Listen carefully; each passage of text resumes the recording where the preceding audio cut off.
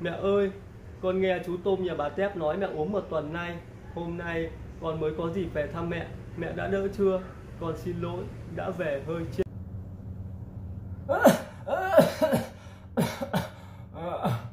khoai về nữa hả con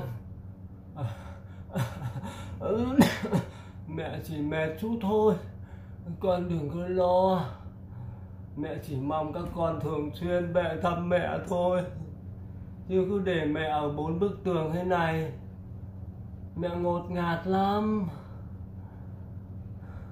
Mẹ nhớ các con, các cháu lắm. Mà mấy tháng nay các con, các cháu chưa về thăm mẹ.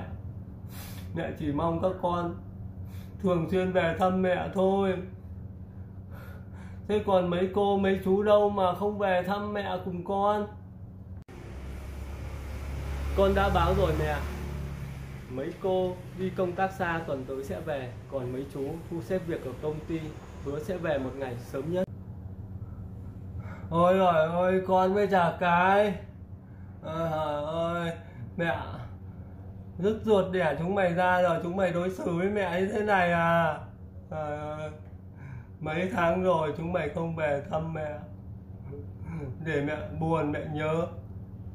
Không ngày nào là mẹ không nhớ ngày xưa, mẹ đẻ 10 đứa. Đau hết cả háng, thâm một số thứ để nuôi chúng mày. Khôn lớn bằng người, rồi xây dựng cả chồng. Rồi giờ chúng mày giờ chúng mày lại lại lại đối xử với mẹ như thế à? Ờ, ờ. Trời ơi, sao cái đời tôi nó khổ như thế này? Con với cả cái chịu bao nhiêu tuổi nhục để nuôi chúng nó? Bây giờ chúng nó để trả ơn tôi như thế này đây.